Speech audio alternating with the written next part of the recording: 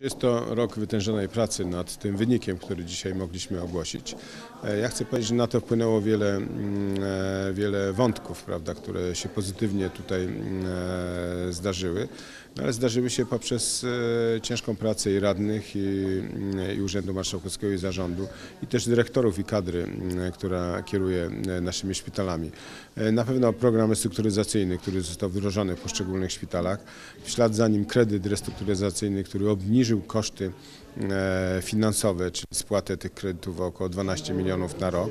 E, Na pewno też bardzo korzystne finansowanie mm, związane z e, siecią szpitali, która miała miejsce, też około 50 milionów wzrost w skali wszystkich szpitali.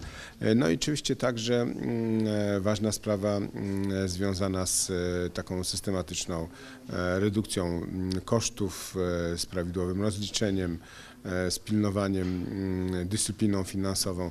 To ważna oczywiście mm, decyzja. Myślę, że dziś e, można e, z radością o tym mówić i się tym chwalić, ale nie należy też popadać w taki hura optymizm, bo praca dopiero się rozpoczęła. Należy przez kolejne lata mm, e, w taki sam sposób takie same wyniki osiągać. Będzie można powiedzieć, że na trwale e, żeśmy poprawili sytuację e, w naszej podkarpackiej ochronie zdrowia. Dziękuję zarządowi z marszałkiem Ortylem na czele, gdzie, gdzie sprawy ochrony zdrowia są absolutnie wspierane, są bardzo systematycznie na każdym zarządzie, przynajmniej raz w miesiącu temat wszystkich naszych placówek jest, jest omawiany, ale też i te wszystkie decyzje, które Państwo podjęli e, jako Sejmik Województwa Podkarpackiego, a szczególnie tutaj be, bezpośrednie zaplecze, klub radnych Prawa i Sprawiedliwości, gdzie niejedno, niejednokrotnie bardzo trudne decyzje, e, które wiązały się z re, strukturyzacją. Wszystko to, co się wydarzyło, było e, na trzech poziomach,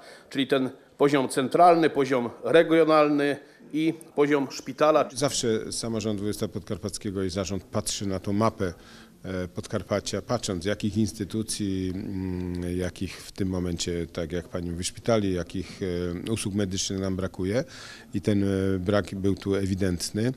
E, Takiego podkarpackiego Centrum Zdrowia Dziecka nie mamy, jesteśmy ostatnim województwem. Ponadto to e, przekłada się wprost na wypływ składki. Ponad 50 milionów e, z Narodowego Funduszu Zdrowia wypływa poza granice województwa, bo tam jeżdżą rodzice z dziećmi, które potrzebują tych świadczeń medycznych. To jest oczywiście koszt wypływu tej składki, ale jednocześnie to jest koszt dodatkowy dla rodziców, wyjazd, koszty pobytu, e, konieczność brania urlopu i tak dalej, mm, odległość. To są wszystko mm, no, bardzo, bardzo takie e, rzeczy niezbyt e, pozytywne. Mm, Ten szpital chcielibyśmy, żeby w takiej wersji no, bardzo takiej ostrożnej ruszył e, w całości w 2022 roku. Chcielibyśmy, aby był finansowany mm, z budżetu państwa, z środków europejskich, z budżetu województwa. Swoisty montaż też tutaj jest e, potrzebny. E, No i oczywiście do tego czasu też będziemy uruchamiali te mm, usługi medyczne, których nie ma dla dzieci w naszym województwie, ale w 2020 roku, powin, 2022 roku powinny znaleźć się właśnie z tym Podkarpackim Centrum Zdrowia Dziecka. Nie będzie to osobny szpital, będzie to placówka jako struktura wewnętrzna w szpitalu numer dwa. Takie przykłady mamy mm, w szpitalu numer jeden, gdzie jest prowadzone Podkarpackie Centrum Chorób Płuc czy Podkarpackie Centrum Onkologiczne.